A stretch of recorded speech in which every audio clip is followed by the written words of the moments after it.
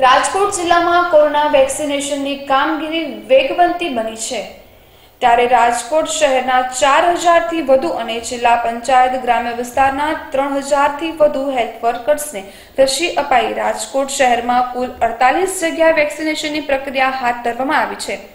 રાજકોટ જિલ્લા પંચાયત આરોગ્ય શાખા દ્વારા કોરોના રસીકરણની કામગીરી ડીડીઓ અનિલ રાણવસિયા અને મુખ્ય જિલ્લા આરોગ્ય અધિકારી મિતેશ ભંડેરીના માર્ગદર્શન હેઠળ વેગવંતી બની છે. અહેવાલ વિજય મકવાણ.